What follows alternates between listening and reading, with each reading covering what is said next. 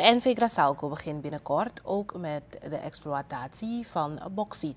Dit zegt directeur Sergio Akimboto. Volgens hem zal zijn bedrijf restmateriaal van Suralco verwerken en exporteren. Akimboto stelt dat de voorbereidingen van dit project al ver gevorderd zijn. Het gaat naar zijn zeggen om meer dan 3 miljoen ton bauxiet die Grasalco de komende periode kan exploiteren. Hij gelooft dat het project succesvol kan zijn omdat dit model reeds in Guyana wordt toegepast.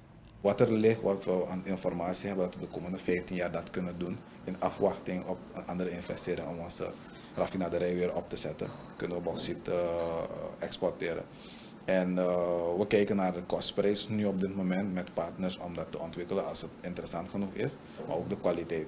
Als de kwaliteit de, de, de, de vereisten haalt van de opkoper, dan gaan we dat sowieso eerste, tweede kwartaal volgend jaar aanpakken. Dus Krasalco vult de, uh, het gat van Siralco een beetje in, als ik het zo goed begrijp. Ja, ja, nee, laat maar zeggen, we vullen het gat van Suralco niet, niet te vergelijken. Suralco is een big boy, wij vullen aan omdat er nog wat voorraad ligt.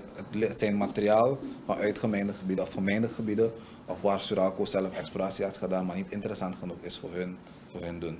En voor ons wel uh, gat kan vullen, inderdaad. Maar we gaan Suralco in deze fase niet vervangen. Nee. Akimboto benadrukt dat de goudmijn te Maripastong nog steeds belangrijk is voor Grasalco. Het streven is om over enkele weken een kleine goudmijn op te zetten in dat gebied.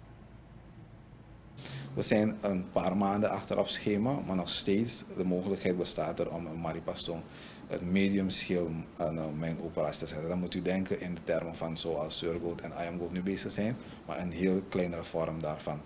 Um, we zijn goed op weg. Uh, we hebben al wat data verzameld die interessant lijkt. Um, heel veel geld erin gestopt en energie natuurlijk. En we hebben een deskundige erbij gehaald die het allemaal bijeenbrengt voor ons nu om te zeggen hoeveel we daar hebben aangehouden om die investering te rechtvaardigen.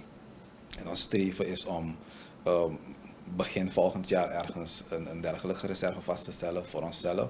Om op basis daarvan een investering te doen om voor Suriname uh, een, een 100% uh, medium te hebben. Uh, het lijkt heel ver, uh, natuurlijk uh, een enorme uitdaging, maar we geloven erin dat de potentie daar ligt en dat we het zullen halen. We gaan het doen. Sergio Akimboto, directeur van NV Grasalco. De vooruitzichten van het bedrijf voor 2018 zijn volgens hem zeer positief.